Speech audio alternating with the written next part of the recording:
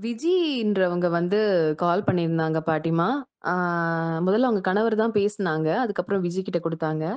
"ரொம்ப ஒல்லியா இருக்காங்க. உடம்பே தேற மாட்டேங்குது." அப்படின்ற வார்த்தைய தான் சொன்னாங்க.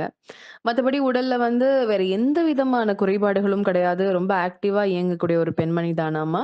நான் விஜய் கிட்ட பேசினேன். நான் கன்வின்ஸ் பண்ண ட்ரை பண்ணேன். "ஆரோக்கியமா இருக்கீங்கன்னா, ஒல்லி எப்படி இருந்தா என்னம்மா ஒல்லியோ, குண்டோ நல்லா இருக்கீங்கல்ல?" அப்படின்னு கேட்டேன். அதுக்கு அவங்க சொன்னாங்க, "எல்லாரும் என்ன கேட்கறாங்க. எல்லாரும் என்ன கிண்டல் செய்றாங்க. உனக்கு என்ன டிபியா? உனக்கு என்ன ஆஸ்துமாவா? ஏன் இவ்ளோ ஒல்லியாற?" அப்படின்னு கேட்குறாங்க அப்படின்னு சொல்லி அவங்க வருத்தப்பட்டாங்க. அ நான் சொன்னேன், "அடுத்தவங்க சொல்றாங்கன்னு வருத்தப்படாதீங்கன்னு" சொன்னதுக்கு, அவங்க சொன்னாங்க, "திருமணமாகி 1 1/2 ஆண்டு தான் ஆயிருக்காமா. கணவருக்குமே ஒரு வருத்தம் இருக்கு. நான் ஒல்லியா இருக்கிறதுல." அப்படின்னு சொல்லி அவங்க ஒரு வார்த்தை சொன்னாங்க பாட்டிமா. இவங்களுக்கு என்ன சொல்லலாம் பாட்டிமா விஜிக்கு? ரொம்பவும் ஒல்லியா இருந்தா கேட்கதான்ப்பா செய்வாங்க 4 பேரு. கஷ்டமா தான் இருக்கும்.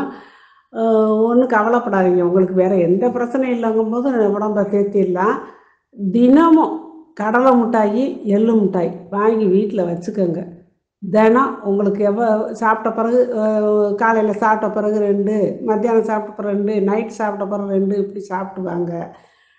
கடலை மிட்டாய், எள்ளு மிட்டாய் ரெண்டுமே உடம்பு நல்லா இதாக்கும். அப்புறம் ஏ ஒவ்வொரு நேரம் சாப்பிடும் போதும் நீங்கள் நெய் சேர்த்துக்கோங்கப்பா சாப்பாட்டில் நெய் சேர்த்து சாப்பிடுங்க. நெய் பலகாரங்கள் சாப்பிடுங்க. அப்புறம் அந்த நான்வெஜ் ஐட்டம்லாம் நல்லாவே நீங்கள் சாப்பிட்லாம் கூசாமல் சாப்பிட்லாம் டெய்லி தயிர் சாப்பிட்லாம்ப்பா தயிர் நீங்கள் சாப்பாட்டில் தான் கலந்து சாப்பிடணும் இல்லை உங்களுக்கு சாப்பாட்டுக்கு வேறு குழம்புழம்பு வச்சு நம்மளுக்கு அதிலே சரியாக போகுதுன்னு நினச்சிக்கிட்டீங்கன்னா கூட, நல்ல தயிர் ஒரு இரநூறு தயிரை கூட 200 மில்லி தயிர் நல்லா வீட்டில் உர ஊற்றுனதாக இருக்கணும். கடையில் வாங்கி சாப்பிடாதீங்க. வீட்டில் உர ஊற்றி வச்சு நல்லா கெட்டி தயிராக நல்லா சுவைச்சு சாப்பிடுங்க. இந்த சர்க்கரைவள்ளி கிழங்கு, உருளைக்கிழங்கெல்லாம் நல்லா சேர்த்துக்கங்கப்பா. உடம்பு வெயிட் போடும். பாட்டிமா சுதேஷ்குமார் அவருடைய மனைவிக்காகவும், மகளுக்காகவும் ரெண்டு கேள்வி பதிவு பண்ணியிருக்காங்க. நம்ம ஒண்ணொண்ணா பார்க்கலாம். முதல்ல அவருடைய மனைவிக்காக வயது 39ஆமா. கால்ல சுருக்கு சுருக்கு அப்படின்னு குத்திட்டே இருக்கு அப்படின்னு சொல்லி ரொம்ப வலியில கஷ்டப்படுறாங்கன்னு சொல்றாரு. குறிப்பா பார்த்தீங்கன்னா, மொசைக் போடுறதுக்கு முன்னாடில இருந்துமே பெயின் இருக்கு. அவங்க வீடு கிரவுண்ட் ஃப்ளோர். மொசைக் போட்டதுக்கு அப்புறமும் கால்ல அந்த சுருக்கு சுருக்குன்னு குத்திட்டே இருக்கிற மாதிரியான வலியில ரொம்ப கஷ்டப்படுறாங்கன்னு கேட்கிறாரு. அதுக்கு என்ன செய்யலான்னு சொல்றாங்க. அவரோட மனைவி பெயர் கல்பனா.